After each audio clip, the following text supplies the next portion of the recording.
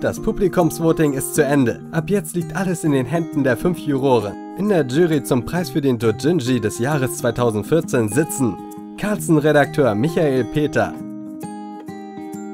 Verlagsleiter von Tokyo Pop Deutschland Joachim Kaps,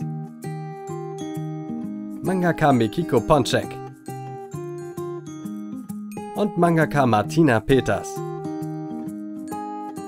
Das sind nur vier. Ganz richtig, der fünfte kannst du sein. Du liebst deutsche Manga ebenso wie wir? Dann bewirb dich jetzt unter dojinji-preis at animando-online.de. Nähere Informationen erhältst du auf www.facebook animando.online. Das Publikum hat entschieden. Folgende acht Werke werden der Jury zur Ansicht vorgelegt. Bazar der Erinnerung von C.K. Johnson. Brave von Bear.